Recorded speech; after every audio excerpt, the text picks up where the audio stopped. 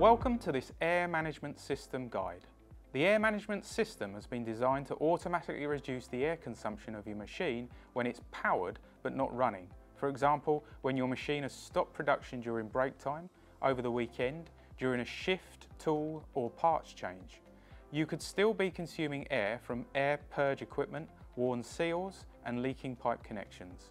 The air management system works on the principle that by reducing the supply pressure, the air consumption also reduces. So how does it work? Here we have a typical air management system assembly which is made up of three main components. The first component is the standby regulator, which can be a manual or electro-pneumatic type.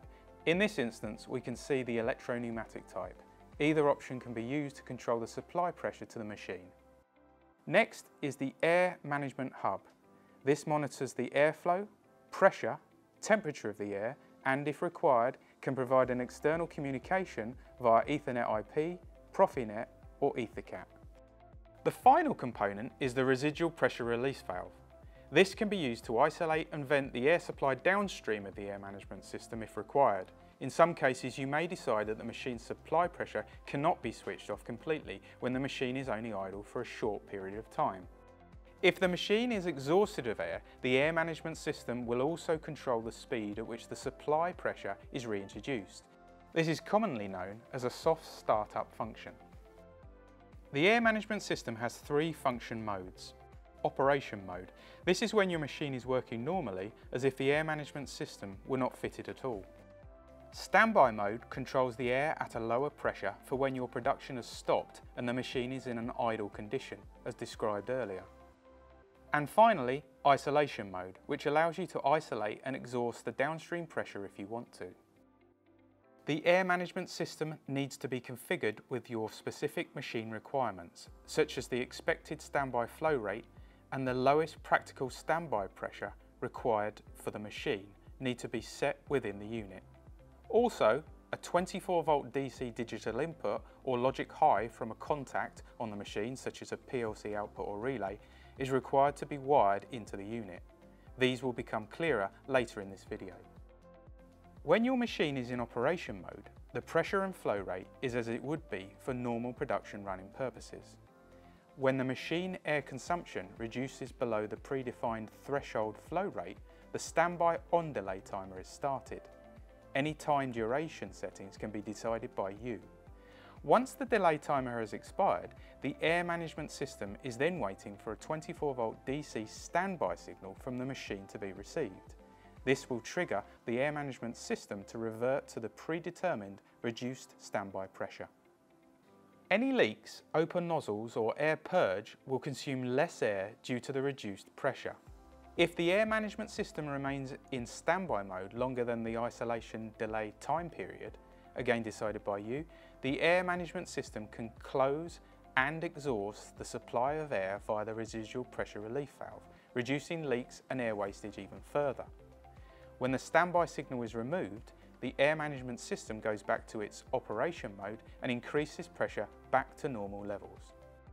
We will now demonstrate the air management system functions with a practical example. Currently, the machine, simulated here by a cylinder in continued operation, is in operation mode and the average flow rate is approximately 180 litres per minute and the supply pressure is 5 bar. Here we've simulated a leak somewhere on the machine by the addition of a flow controller below the actuator. So the consumption here is the actuator move-in and the continued air loss from the flow controller or leak. In this demonstration, the standby flow rate threshold has been set to 100 litres per minute.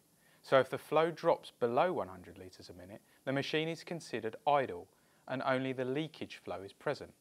The flow from the leak is approximately 78 litres per minute with the 5 bar supply. In this example, the standby on delay time has been set to 5 seconds. The standby pressure has been set to 2 bar. The display shows current pressure, flow rate, temperature and accumulated flow values, all of which can be monitored remotely.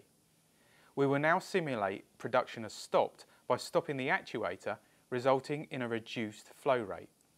Once the flow rate drops below the predefined threshold, the standby timer is started. Once the timer has expired, the air management system reduces the pressure to the standby setting.